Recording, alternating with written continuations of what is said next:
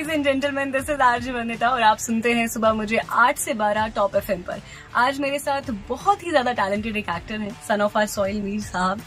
Sir बहुत बहुत स्वागत है आपका यहाँ पर। बहुत बहुत शुक्रिया दावत देने के लिए और इट्स गुड टू बी है सर आगे बढ़ने से पहले एक छोटा सा कन्फेशन था।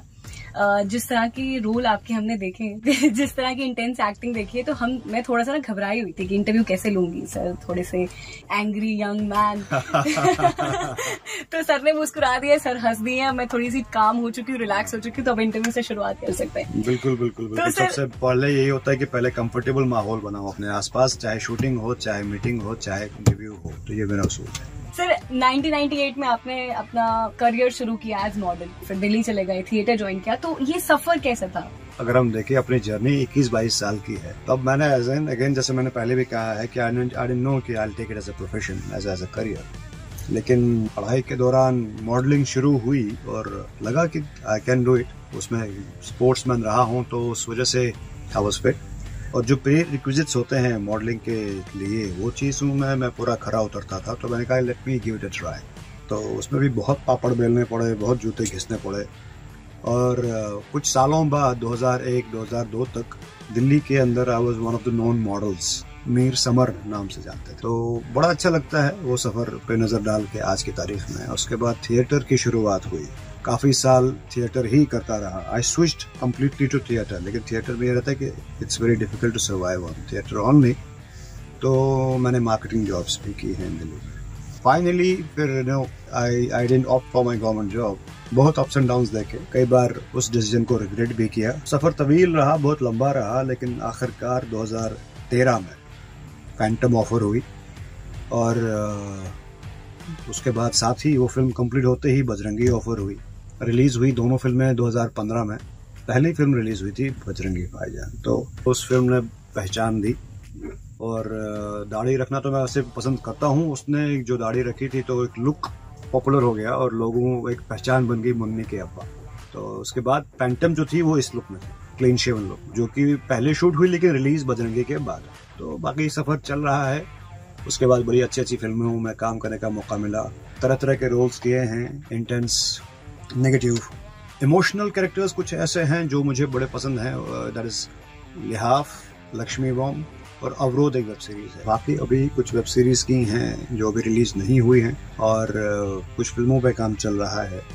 एक मैं खुद डायरेक्ट कर रहा हूँ जो मैंने खुद लिखी हुई है। सफ़र जारी है। 98 में आपने करियर शुरुआत करी और 2013 में आपको फाइनली फ़िल्म मिली।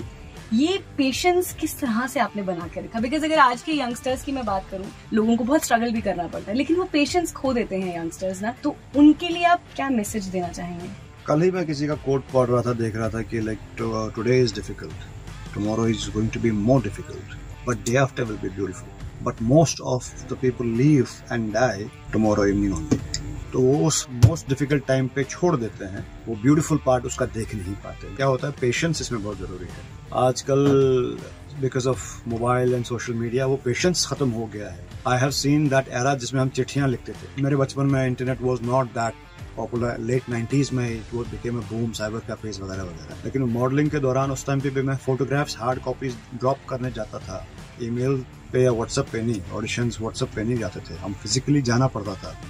जो बीच का गैप रहा, उसने you know when you have all the burden on you आप पे खर्चों फाइनेंस का भी पहले पढ़ाई के दौरान फैमिली की तरफ़ से आता है वट एवर आई डन जो अभी तक किया है, अगर फैमिली का सपोर्ट नहीं होता तो नहीं कर पाता। My father passed away recently तो उनकी वजह से, उनकी बदौलत बिकॉज़ ये वॉज़ देयर उनकी बदौलत मैं अपने इस ख्वाब को पूरा कर पाया। As a set door to door marketing भी की है। शाम को जॉब के बाद रिहर्सल पे जाना, वहाँ से वापस आना, घर पे खाना बनाना और खुद कपड़े भी धोते थे तो वो फ़ेज़ भी देखा है। अगले दिन फिर दोबारा तैयार होकर फिर से ऑफ़िस जाना। ऐसे कहते हैं कि अगर आप इस फ़ील्ड में या किसी भी फ़ील्ड में कामयाबी हासिल करना चाहते हो तो सबसे इम्पोर्टेंट है कि थ्री पीस पेशेंस परसिस्टेंस और पैशन अगर आप में पैशन है तो आप उस चीज़ को करो। If you not passionate about anything don't do नीयत अच्छी रखो, अपने हुनर पे अपना काम करो तो सक्सेस तो मिलेगी।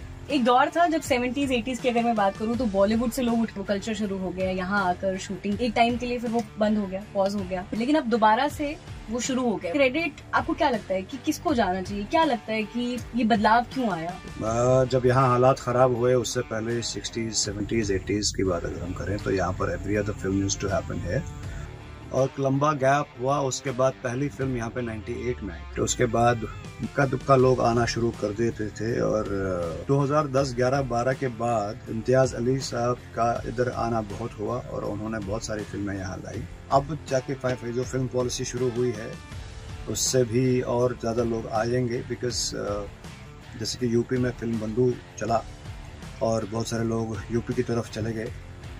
सबका ये रहता है कि कहीं पे अगर कोई बेनिफिट मिल रहा है तो उसका फ़ायदा उठाया जाए और अगेन उसी वजह से यहाँ पर भी लोग आएँगे फ़िल्म बनाने के लिए। हम यही उम्मीद करते हैं कि अच्छी कहानियाँ लेके आए। क्योंकि अगर आप जम्मू कश्मीर की कहानी लेके आ रहे हो तो वो फार्मूला तो है बहुत सारे लोग मना ही लेते हैं। लेकिन कोशिश ये करें कि कुछ अच्छी कहानियाँ लेकर आएँ। और जो ये खूबसूरती यहाँ पे है इसको शूट करें दुनिया को दिखाएँ। और इंटरनेशनल मैार की फ़िल्में बन जाए तो बड़ा मज़ा आएगा। बीइंग एन एक्टर आपको क्या लगता है कि मूवीज़ में काम करना ज़्यादा बेहतर होता है या फिर ओटीटी प्लेटफॉर्म्स पे जो वेब सीरीज़ बनती है? क्योंकि वहाँ दो घंटे की मूवी में आपको पूरी कहानी बतानी है। वहाँ आपको दस दस एपिसोड करने हैं। लिबर्टी कहाँ ज़्यादा है एक एक्टर को?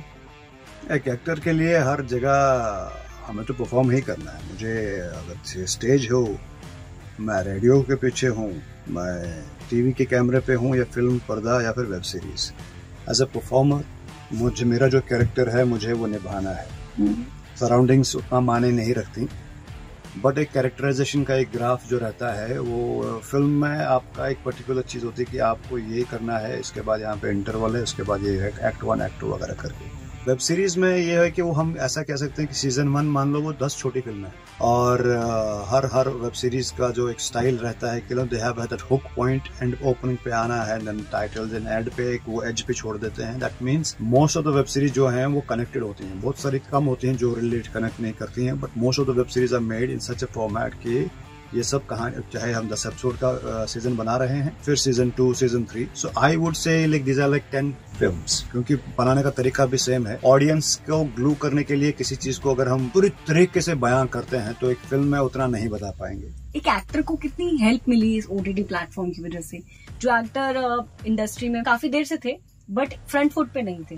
But after O T T platform उन्हें बहुत ज़्यादा चांस मिला और ऐसा चांस मिला कि अब लोग उन्हें ही देखना चाहते हैं क्या है कि देखिए जो भी हुनरमंद है क्या होता है कि फ़िल्मों में एक चलता है कि यार ये बिक रहा है ये एक्टर हम्म। बिक रहा है इसकी फ़िल्में चलती हैं तो बॉक्स ऑफ़िस वैसे उस पैरामीटर पे उस तराजू पे तोला जाता है अगर हम बात करें कि ओ टी टी प्लेटफॉर्म्स पे काफ़ी सारे ऐसे एक्टर्स हैं जो काफ़ी टाइम से बैठे थे चाहे उनका पर्सनल डिसीज़न था चाहे वो कमर्शियल वजह से था चाहे उनका ये था कि हमें अच्छी फ़िल्में ऑफ़र नहीं हो रही हैं चाहे कोई और वजह ओटीटी की वजह से चैलेंजिंग कंटेंट आने लग गया। और इतने सारे मेकर्स फ़ील्ड में आ गए, छोटे फ़िल्म मेकर्स को भी मौका मिला और उनको एक नाम चाहिए। एक नाम के लिए आप, अगर हम पुराने एक्टर को या पिछले 90s का 2000 के काफ़ी सारे एक्टर्स वगैरह होती हैं, जैसे कि अगर हम आर्या की बात करें, Sushmita Sen is an amazing actress no doubt about it लेकिन काफ़ी टाइम तक उन्होंने फ़िल्में नहीं की। हम्म। हो सकता है कि उन्होंने चूज़ नहीं की होंगी या उनको अच्छी स्क्रिप्ट उनको पसंद नहीं आती होंगी but Aarya was completely on her तो उसका सीज़न टू भी बना। हम्म। लोगों ने उनको देखा परफॉर्मेंस में तो कोई कमी नहीं है she is an amazing actress but वही चीज़ होती है कि audience was ready and she accepted a good script तो आर्या चला। और ऐसे कई सारे एग्जाम्पल्स हैं अगर हम बात करें तो there are like you know they just need a name आपको हम अगर मैं एज ए मेकर अगर मैं अभी कोई फ़िल्म पिच कर रहा हूँ हम भी ओटीटी पे जब जाते हैं किसी को लेके हाँ जी कौन कौन है आपकी फ़िल्म हम्म। में तो हम ए बी सी नाम ले लेते हैं जिनको हम देखे कि लेकिन यार ये तो ये ऐसे हैं इनको हम अफोर्ड नहीं कर पाएँगे क्योंकि हम्म। हमारा बजट कंस्टेंट्स रहती हैं we are independent film makers हमें उस चीज़ पे भी नज़र रहती है जब मुझे कुछ लोग अप्रोच करते हैं तो मेरा नाम वो पिच करते हैं। हम एक छोटी फ़िल्म बना रहे हैं कश्मीर बेस पे फ़िल्म बना रहे हैं। तो हम जी वहाँ के एक्टर्स को यूज़ कर रहे हैं तो फलाना को। तो क्या होता है कि like you know known faces हैं बट दे नॉट स्टार्स पर से तो आज की तारीख में वो टाइम अब नहीं रहा। जैसे कि नार्कोस वगैरह वेब सीरीज़ की अगर हम बात करें there were all newcomers theatre के लोग थे अब वो स्टार बन गए आफ्टर नार्कोस लॉकडाउन के चक्कर में जो है कि ऑडियंस को बहुत फुर्सत थी लोगों के पास, बहुत सारा कंटेंट देखने को मिला और समझ में आया कि ऐसा कंटेंट भी बन सकता है। हमें सिर्फ़ डब में, हिंदी डब में देखने की ज़रूरत नहीं है। हम सब टाइटल पढ़कर भी देख सकते हैं और जैसा कि मैं खुद भी करता हूँ। अगर मनियाज की बात करें तो मैंने ओरिजिनल ही देखा है विद सब टाइटल्स एक बीच में एक टर्किश वेब सीरीज़ सीरीज़ चली थी और प्रोल बहुत पॉपुलर हो गई थी, लेकिन बहुत बड़ी थी, साढ़े चार सौ एपिसोड की थी। और मैंने वो भी ओरिजिनल लैंग्वेज में देखी लॉकडाउन में बहुत टाइम था। लेकिन विद सब क्योंकि डब करने के बाद बहुत सारी चीज़ें जो फीलिंग्स होती है जो चीज़ें होती हैं वो हम मिस कर जाते हैं। फीलिंग्स को हम डब नहीं कर सकते हम लफ्ज़ों को डब कर सकते हैं।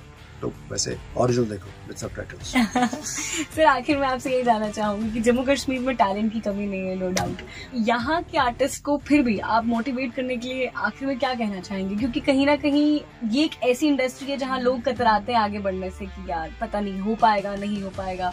क्या करेंगे जाकर? तो उन, उस तरह के आर्टिस्ट को आप क्या कहना चाहेंगे? सिंपल और सबसे पहले ये है कि खुद से पहले पूछो कि आप में सबसे अच्छा what are you good at क्या आप सच में यही करना चाह रहे हो?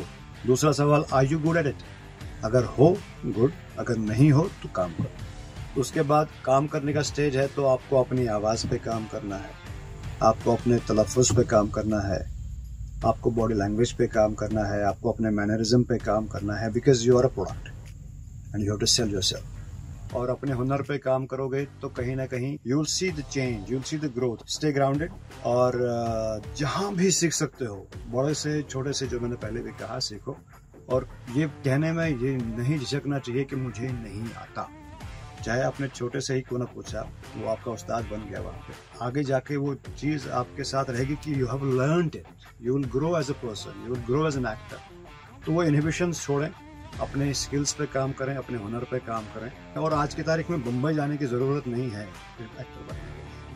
आप जम्मू में हो, कश्मीर में हो, किसी भी शहर में हो visibility just follow the right casting directors और राइट पीपल अराउंड और आज की तारीख में सारे अपडेट्स मिल जाते हैं। और if you are good send a photo send an audition और भूल जाओ। डोंट फॉलो क्या होता है कि उनके पास लाखों हज़ारों लाखों मेल्स और व्हाट्सएप आते हैं they can not revert each and every और आपने अगर भेजा उसका मतलब ये नहीं कि आपको मिले ही हम्म।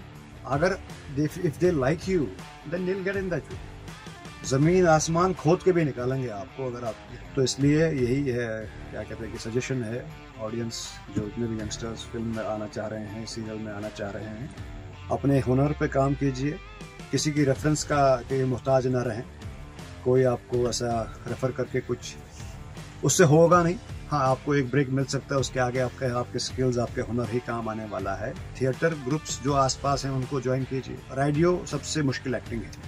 कि लगता बड़ा आसान है कि रेडियो पे क्या होगा रेडियो पे आपको आपकी आवाज़ और इमेजिनेशन से दुनिया घुमानी है ऑडियंस को। So I would to consider radio as the most difficult format of acting और थिएटर का तो खैर अपना ही चाम है दैट्स लाइफ टीवी अलग है आसान कुछ नहीं होता। सब मुश्किल है लेकिन हर मुश्किल आसान होती है आपकी तैयारी से।